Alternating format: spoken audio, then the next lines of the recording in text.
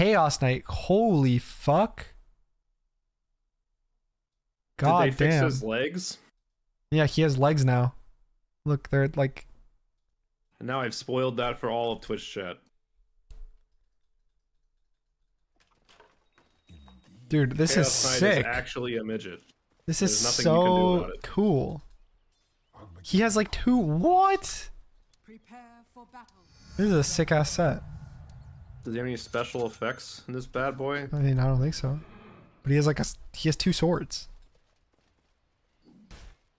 He's probably hype. never You did twice as much damage with that. he's probably never gonna like hit with it, but yeah, he's only gonna right click.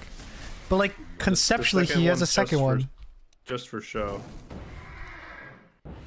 And it's curved. They have curved swords. Curved.